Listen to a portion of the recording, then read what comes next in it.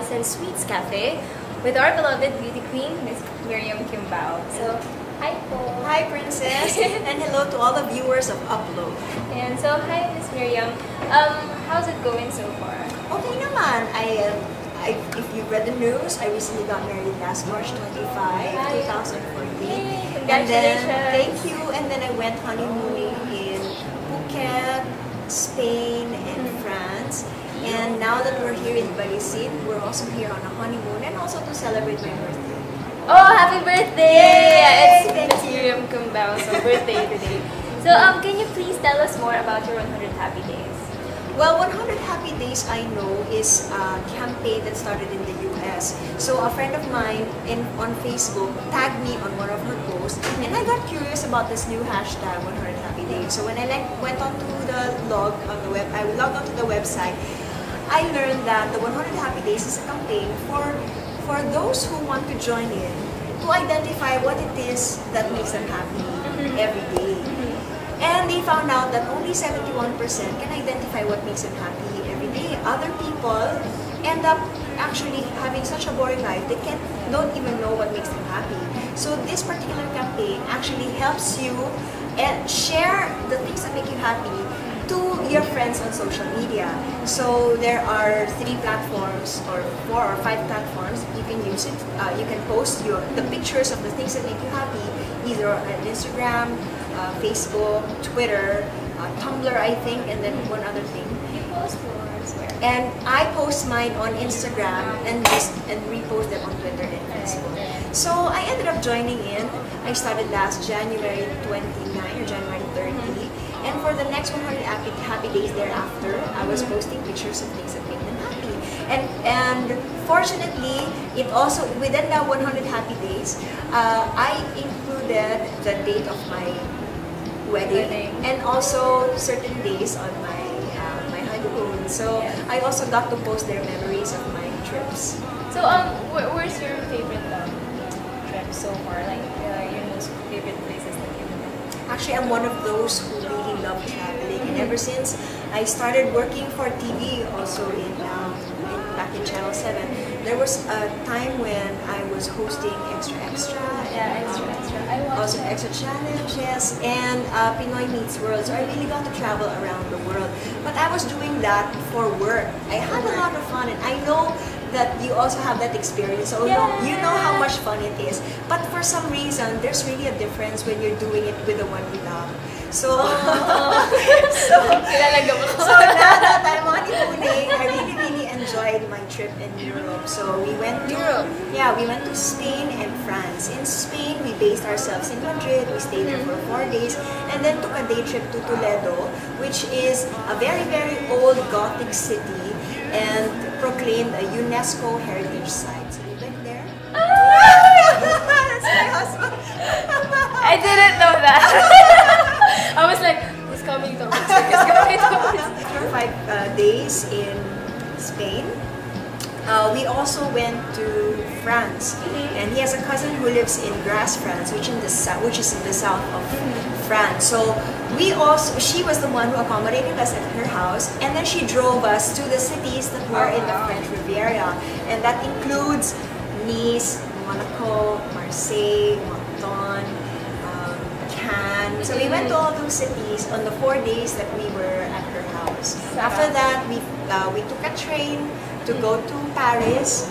We spent the next nine days there. We based ourselves there. Our first apartment was close to the Eiffel Tower, and you can see even my in my Instagram posts that we, uh, we were there having a picture with the Eiffel Tower in the back, or working out, doing push-ups, do uh, or picnicking by the Champ de Mars, which is a big uh, lawn uh, where locals uh, set up themselves for a picnic with the Eiffel Tower just behind them.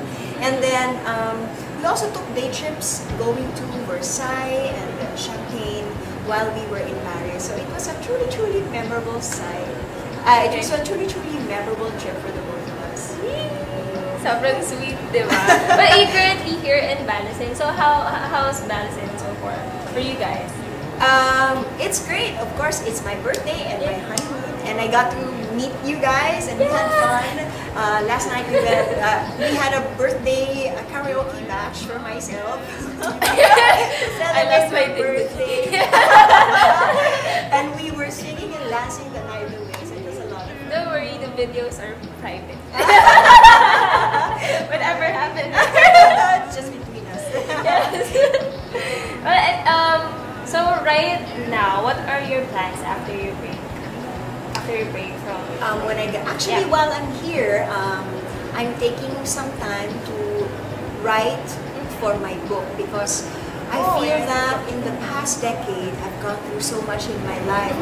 Um, my life is an open book anyway. Everybody knows that I failed in my first marriage of two and a half years, and then after that, um, I came back here to the Philippines and uh, got back on show business. But because I've learned so much in the past decade, I feel like I wanted to share what I've learned to Wow. my followers, my Yeah. admirers, uh, and those who want to follow my career. And so to know I've more decided about know more about me, Yeah. but also to impart to them my experience and what I've learned. Mm-hmm. So I decided in 2007 that I'm going to write a book. It's still in process, but I hope to finish the last three chapters this week.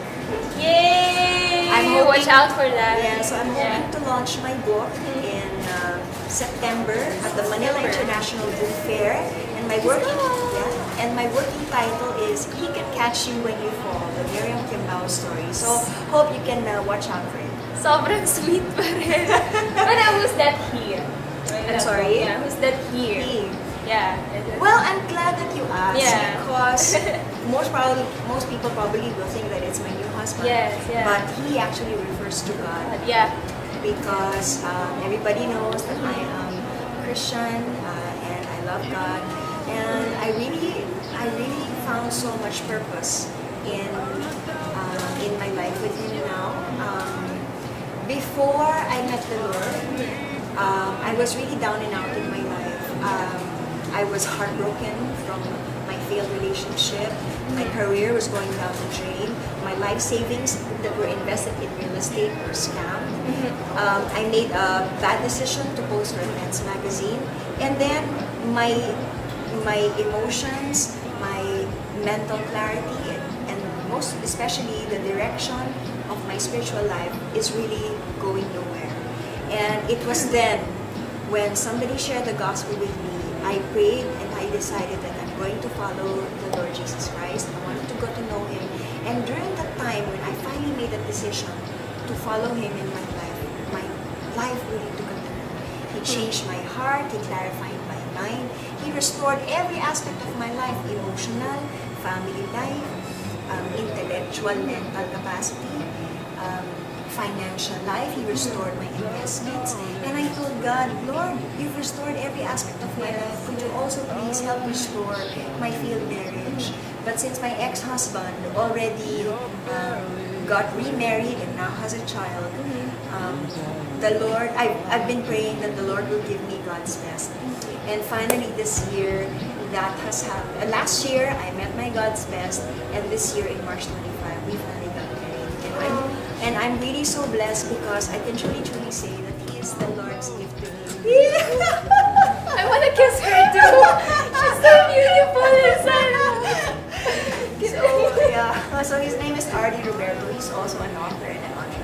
Yeah, it comes after two kisses, no? Yeah. so I mean that's that's the gist. But if you really want to know more about what I've learned, what I've experienced, and how really the Lord uh, changed my life, um, I'd like to invite you to grab a copy of my book once it's out because I'm really really sure that you'll learn, you'll you'll be entertained and you'll be uh, learning a lot. Yeah, a, a lot could relate from your experiences. I mean, iba-iba eh. Like, merong experiences ng mga teens, like on my age, di ba? Like, a model, like, pagpupose sa ano, like, choosing kung ano yung mga careers na dapat nila takamin and everything in real estate. So, I'm going there. I'm gonna buy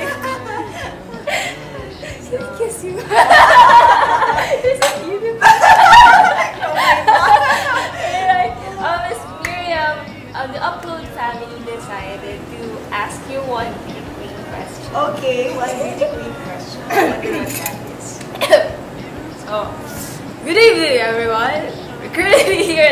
and answer portion.